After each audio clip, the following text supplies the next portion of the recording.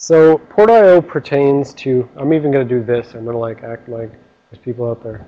Or I should say, hello, internets. Um, port IO pertains to talking to devices. So uh, specifically, there are, it's doing, you know, it's input and output to specific devices over specific ports. Different ports on the x86 hardware can be uh, mapped to different devices. And they're kind of like hard-coded in. So it says, you know, this port, when you talk over this port, it's always going to this device. Uh, and so a port can be input or output, so you can get data in from a device or you can get data out from it. You can write data in or you can read data out. Uh, and so, yeah, like it says, it's ports are created by system hardware and circuitry that uh, decodes control and data access to specific devices. All right, so there are 2 to the 16 8-bit I.O. ports numbered 0 through FFF. Uh, and if you need to access something other than an 8-bit port, you need to take uh, two ports, two addresses. So you could say like address 0 and 1, and you could combine them to have a 16-bit port. Or you could take 0, 1, 2, and 3, and you could combine them to have a 32-bit port. But keep in mind, you would you always want to do these on uh, addresses that are aligned with the data size. So you don't want to have a 16-bit port or 32-bit port that starts with port 1 and goes 1, 2, 3, 4. It has to be 0 through, you know, 3, 4 through 7, etc. All right, so when you access the ports, let's see, didn't put uh, stars there, but when you access the ports, you use the in or out instructions. Uh, and in and out instructions have privilege level access checks on them. So specifically in the eFlags register, there is an IO privilege level field which can be set and that'll say there's two bits for IO privilege level in eFlags and this says if IOPL equals 0 then only ring 0 code can access the in and out instructions. But, you know, theoretically, kernel could say, I want all of the user space code to access in and out. And it would set IOPL equal to um, 3, and then user space code would be able to access it. So it's, again, one of those you can only use these in or out instructions if the current privilege level is less than or equal to the IO privilege level. Uh, and so in terms of things we've actually seen before which uh, manipulate, which check the IOPL, that STI for uh, set the instruction flag and clear the instruction flag, the STI and CLI instructions, uh, each of them actually does check if the CPL is less than or equal to the IOPL. And most OSs obviously set IOPL equal to 0 so that you don't have user space code reading and writing from devices and screwing things up. But as one could, uh, the reason why you can think of there being, you know, why is it not just lockdown that only ring 0 can access hardware? Is because if you think back to, for instance, that uh, paravirtualized Xen uh, example of picturing those rings, Xen may want to say, hey, the OS can still access something. Or if the OS was fully taking uh, advantage of ring 1 or 2, it may say, okay, ring 1 may not, but ring, yeah, ring, ring 2 may not, but maybe ring 1 is allowed to still access stuff. And it may want to set IOPL so that uh, things other than ring 0 could access it. So these are the two forms of the in instruction. This is a new instruction. We don't have the little star here, but this is a new one. So the two forms are you can take uh, and read in from Im an immediate 8 to AL. So this means AL, A low, which is an 8-bit uh, register. It's saying read in one 8-bit thing to my 8-bit register AL. And specifically, the port address is uh, specified by that immediate. So it would be like in AL2, and that would say read one byte in from port 2. Same thing if you're doing, you know, 4 bits, you'd say in EAX 2, but you'd actually be reading in 4 bits rather than 2. And again, we've got two different forms, an 8-bit form and the 16 slash 32-bit form. And I said before, 16 slash 32 is primarily determined by what type of segment you're currently in for the code segment.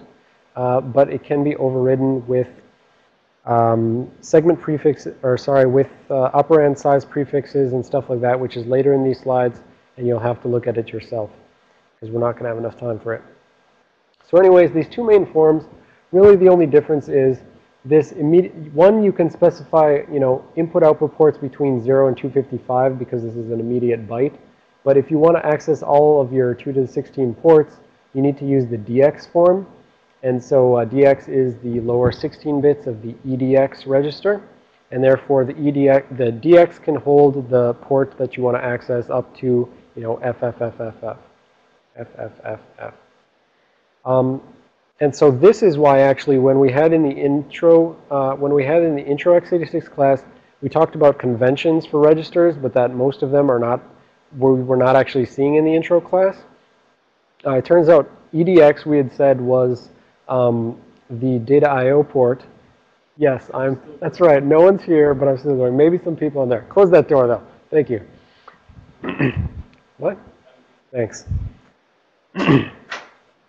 so we had said that the EDX register by convention was the I.O.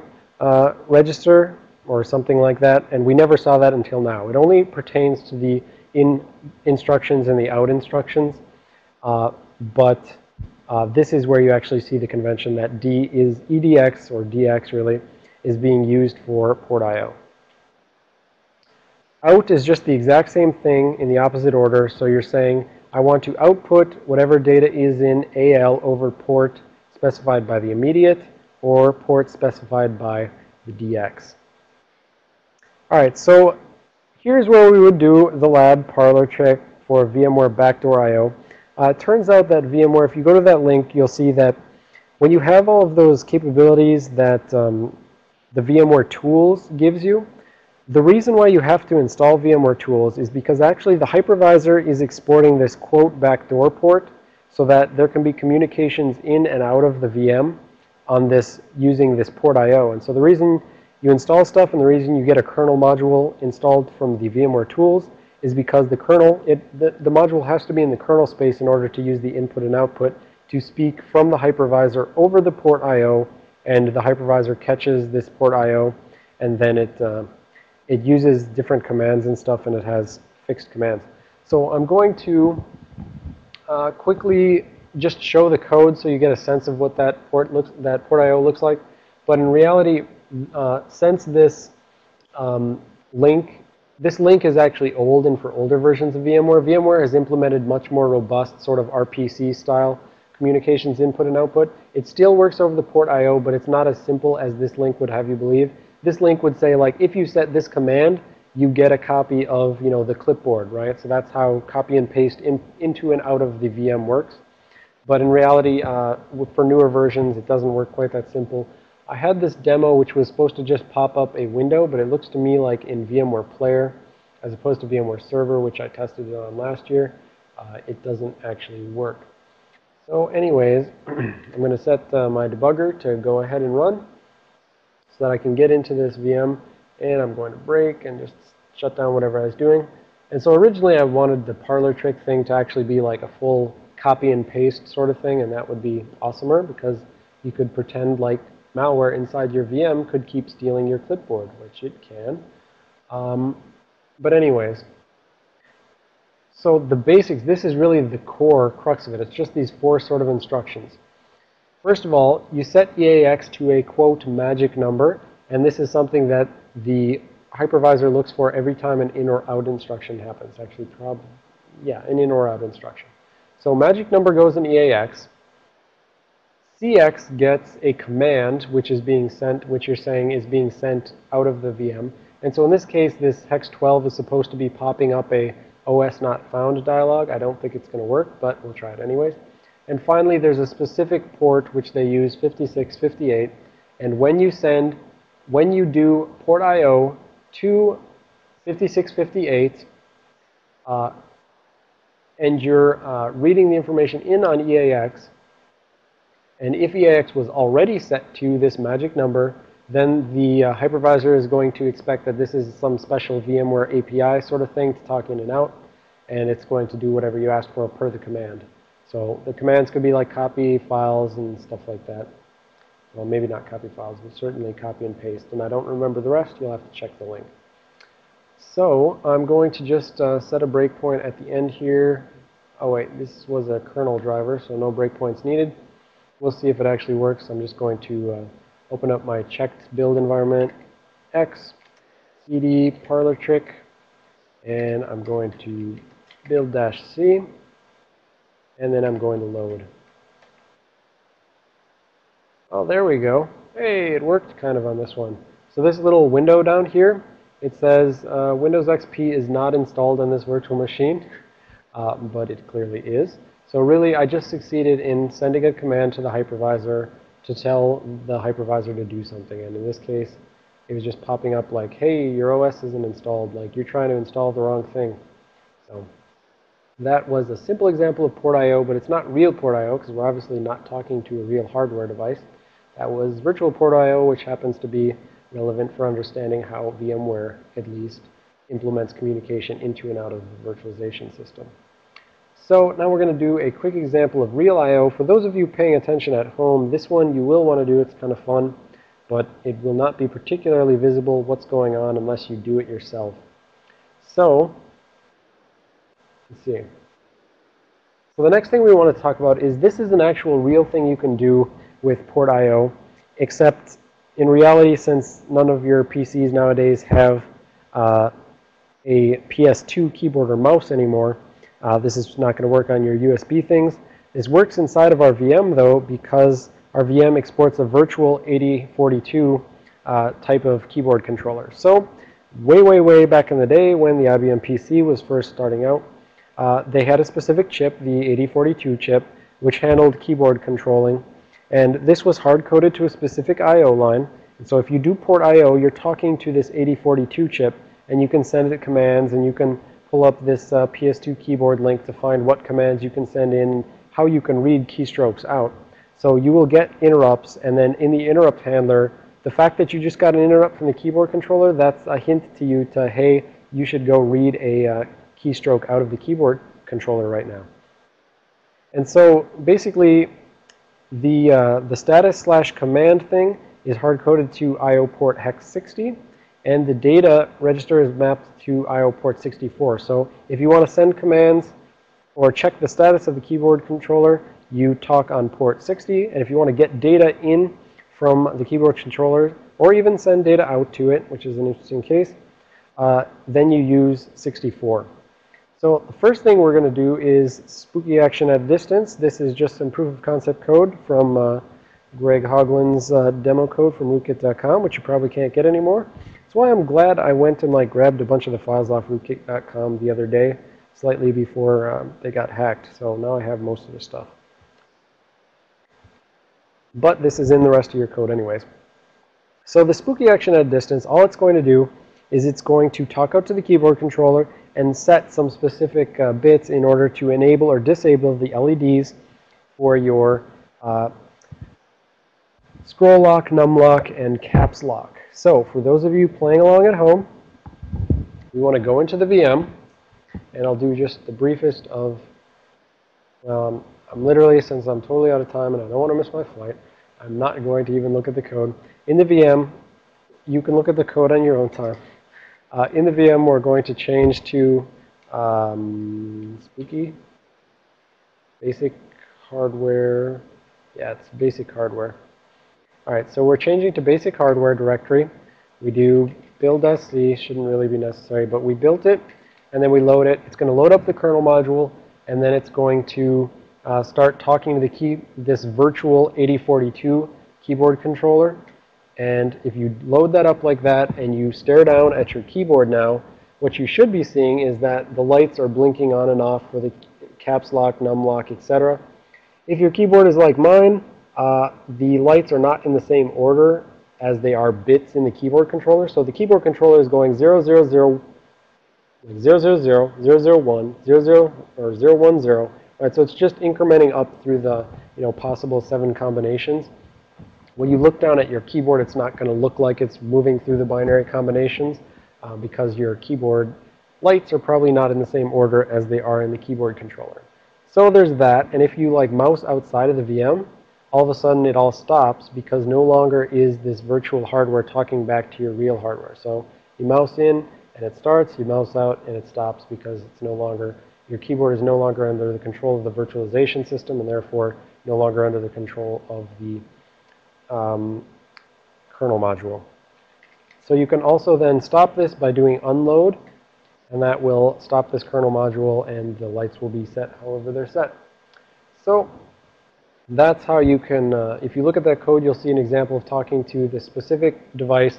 And as with any of this port I.O., you would have to know how to speak the you know, relevant control and status uh, reading information for that given chip. But there's going to be a spec out there somewhere that says how you talk to this chip over port I.O. Final thing we want to do is a keystroke logger using the exact same concept. Um, but basically, instead of like setting command bits to turn on and turn off lights, it's going to get the interrupt. It's going to, first of all, hook the interrupt so that when, um, when a keyboard interrupt occurs, this malicious code will handle that interrupt. It will go out. It will speak to the device. It will get a copy of the keystroke. It will put the keystroke in its buffer. And, and keystrokes are not actually stored like ABCD. They're called scan codes. And uh, scan codes are really more like coordinates on a keyboard. So different keyboards with different number of keys, uh, scan codes can map to different things. So in order for the keystroke logger to actually interpret the keystrokes or interpret the scan codes, it must have a mapping of these scan codes go to these keys. Like this is shift, this is A, that sort of thing.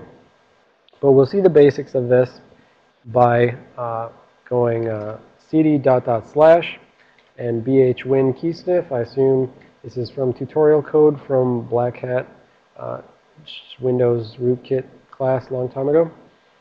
So we do that. We build dash C, hit return, and we load it up. And now I'm not going to push any keystrokes in there. I'm just going to mouse out quick. And I'm going to go to WinDbg. When I go to WinDbg, First of all, we see like there actually was already a bunch of, okay, those these are from before. These were from the setting lights and stuff. This right here is hooking interrupt. Old address for ISR is this. New address is that. It's saying I'm hooking the interrupt for the keyboard controller. I had to specify in the code which specific interrupt it needs to hook. And now it says interrupt complete. Now, when I press a keystroke inside the VM, uh, it's going to print out the information as well as store it to a buffer for the scan code which I have typed. So I'm going to be in here. I'm going to hit lowercase a, right? And then I go outside, go back to the debugger, and it says, okay, it looks like it got scan code 1E. So to sort of justify my notion that scan codes are like coordinates, I'm going to hypothesize that if I click S, if I type S, which is, you know, one horizontal from A, it should be scan code 1F because it's the scan codes go horizontally across the keyboard. All right, so A, S, go back to the debugger and it says indeed I got 1F. And so then other things are just about, you know, whether you press the key or you release the key and stuff like that. But basically, by understanding how to speak with port IO, uh, this interrupt handler that's malicious can go out and do the same thing as a normal interrupt handler would do by reading and writing to the keyboard controller First, it reads off a copy, stores that copy, and then it actually writes back the copy and ignores the next breakpoint so that the regular hardware gets a copy of it. Because otherwise, if it just read the copy off the keyboard controller and didn't put it back, then uh, the OS would not see any. Then OS would not be able to consume any things when it passed control to the original interrupt handler. So that is all I've got for port.io. Maybe uh, Corey at some point will give me some cooler examples or at least give me some memory mapped I.O. examples. So going back to the slides, I think I'm going to tear down at this point. I guess the only one thing I want to say at this point is remember that we said you can break, use hardware breakpoints on input-output access. There's like a proof of concept, uh, where is it? Did I put it in here? Yeah back on rootkit.com, there was a proof of concept keyboard sniffer which did not hook the interrupt controller, and instead it put an interrupt on every single uh, access to the keyboard controller. And in that way, you know, the interrupt uh, descriptor table was fine, but by setting these hardware breakpoints, the malicious code would always hear when you're trying to talk to port 60. So that's another way you can make a keyboard handler. It's just a little more fragile because if someone overwrites your breakpoint handler, uh, your thing is now blind. So what I normally would have covered is uh, the actual detailed description of how um, the Intel format is uh, set up with these prefixes I've mentioned multiple times, opcodes, how the RM32, which I've called throughout my classes, which is not really the RM32, it is actually uh, two bytes, possibly two bytes, all right, it says if required, is possibly an RM, it's a, called a mod RM and a SIB byte, and so there may be one of these, there may be two of these, and then there's other stuff like displacement and immediates. But unfortunately, I just wanted to describe the early stuff in such detail that I don't have time. These are the fun things you get to go look at if you want to disassemble using your mind. All right, and the only thing I was going to say here with this content was, look, we had those examples where the opcode is listed as the same thing. So how does it know whether it's trying to do, well, actually that's not an example of what I was talking about. Never mind. Do. So if I can quickly go over the prefixes, there's sort of four groups of prefixes. Uh, the first group includes things like lock. Lock will basically lock down the memory bus. So if you tack an F0 on the front of an instruction like this, lock exchange EAX with memory at EBX, right? So take the memory at EBX, put whatever's in EAX in, take the memory at EBX, put that into EAX. So switch them around with an exchange but simultaneously lock this down so that no one else can access the memory bus at the same time so that you can essentially have mutual exclusion. This is the only code accessing memory, so you can try to avoid race conditions. This lock uh, prefix is the underlying mechanism by which uh, mutual exclusion gets built up in operating systems. Rep prefix we've seen multiple times. It actually can be tacked on to a few different instructions, right? We have rep move s, rep stos, everything like that. There's actually different ways to do rep. You don't have to do just repeat until, you know, ECX is equal to 0. You can have other termination conditions like repeat and terminate when 0 flag equals 0 or 0 flag equals 1 and or, you know, ECX is 0, something like that. So there's different forms of repeat and really there is a, right, so we said this is a move S, this is a move S D word, and that there is a separate instruction move S and it's just A5 but you only ever see it as rep move s. And when you look at that, it turns out you've just tacked on a prefix onto an existing instruction, but there's only so many instructions you can do that on. Finally, well, almost finally, uh, these are the segment override prefixes. You can set specific bytes in front of instructions to override things. So here's a regular jump to the memory stored at ESP. It would be FF2424. And if I tack on a 65, I look up here, it says 65 means treat this as GS relative so that we have an actual uh, full thing. All right, so that's all. This is what we saw in this class, right? This is not so bad now. We literally covered everything in here except uh, this XCR0, which I don't even know what that is. We also covered all of the segmentation. Segmentation goes to linear addresses. Linear addresses go through page tables to get you to a physical address. Four fruity flavors of ways to translate those linear addresses to virtual addresses. Uh, these are the 32-bit ways, and in reality, you can only ever get to these 2 to the 20 pages or, you know, up to this many pages. But so 1,000 pages if they're 4 megabyte chunks or 2,000 pages if they're 2 megabyte chunks, right? But really, you only ever have access to, if you're 32-bit linear address space, you really only have access to 32 bits of physical memory at a time. All right, some new instructions we learned more instructions we learned. And here I would normally pontificate, but you can read these just fine. So